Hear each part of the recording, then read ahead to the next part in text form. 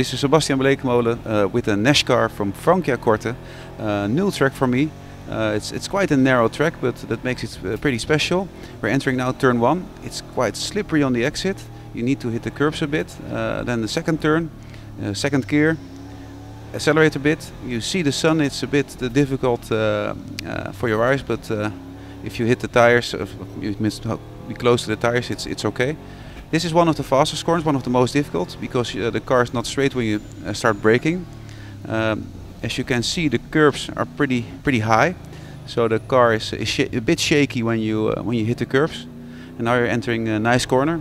It's a full throttle, and now you go back to uh, second gear, the right-hander, and we only have two or three uh, corners in front of us. This is a difficult one. If you miss the curbs, you miss approximately a half a second, like the car in front of me is doing now. Uh, so I try to overtake him. I'm not sure if it, I'm gonna make it. Let's see.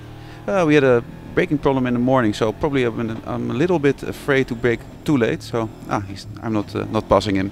Well, this is the last corner, the left-hander. You need to be very precise to uh, exit the uh, corner as fast as possible because we're entering uh, the main straight and we have one lap of Franciacorta.